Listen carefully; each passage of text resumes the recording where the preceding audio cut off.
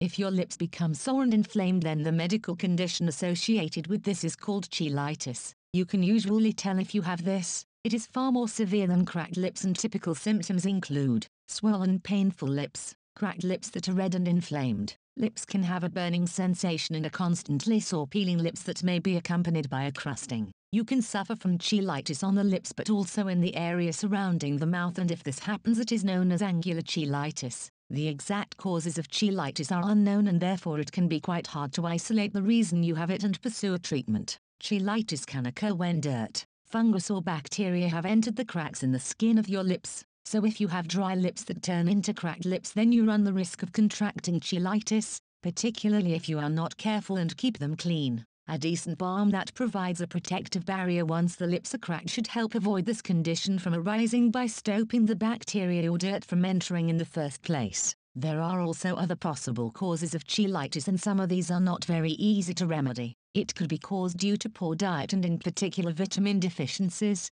These deficiencies can also cause a drying of the lips to begin with which will make you even more vulnerable to cheilitis. Other highlighted causes are underlying skin problems, a separate condition called candida yeast overgrowth, immunosuppression or your body's inability to efficiently process toxins. A healthy diet may go some way to easing the condition. Cheilitis treatments. If you believe that you have cheilitis then it is recommended that you visit your GP. They can prescribe an antibiotic or antifungal cream which may have hydrocortisone to treat the infection and calm the inflammation. Your GP can help you to isolate the possible cause of the condition. If you have been ill recently you could be suffering from immunosuppression, or your diet could be to blame. Hopefully you can find a possible treatment that can work for you.